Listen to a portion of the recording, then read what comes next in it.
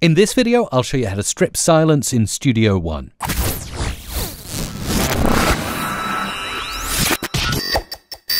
Well, Studio One has no end of great features for editing and mixing audio, and stripping out all the quiet bits is another thing it can do really well. Here you will see I've got silence around here and around here in my audio, also here and here.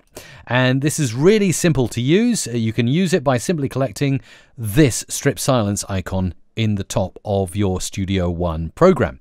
When I click that, it's going to give me options. Now, this is only a short piece of audio of five seconds in duration, but if it was like five hours, I might want to do this on a smaller part by using my cut tool here, and then I can go ahead and make a cut here and here and use strip silence only on this particular part of audio.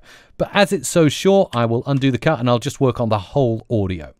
So it's asking me here, well, what do you want to do? Get rid of little silence, the noise floor only, lots of silence? What do you want to do?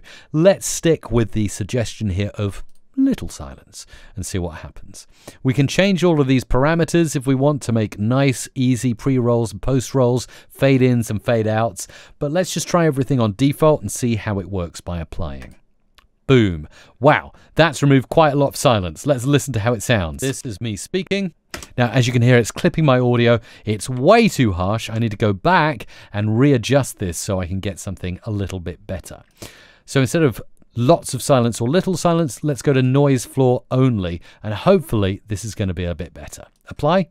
Boom, it is a bit better, but it's still stripping out bits in between my words, which is not ideal. So this is where we really need to fine tune it and we can say, okay, minimum length. Let's increase that minimum length of silence so as not to get the gaps between my words. Apply. Now we're getting closer. Now we're getting just the audio we want to keep, but not all of the silence around. And now we can undo again, and maybe we can make that stronger with little silence and apply again. Boom, that's looking very good, very healthy.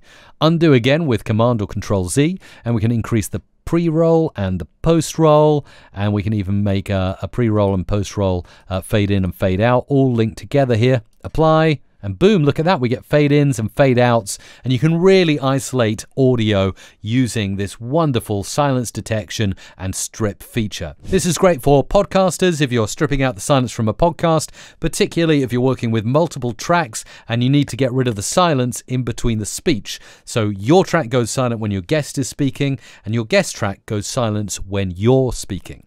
You can also do it on voiceover sessions when you get those 30 minute voiceover sessions and you just want to strip out the bits of speaking. This feature in PreSonus Studio One is absolutely fantastic. If you've enjoyed watching this video, you clearly like Studio One and you'd like to learn more. I did a video on de-essers in Studio One. You should definitely watch it. It's on your screen somewhere right now. And keep watching for more Studio One tips and tricks.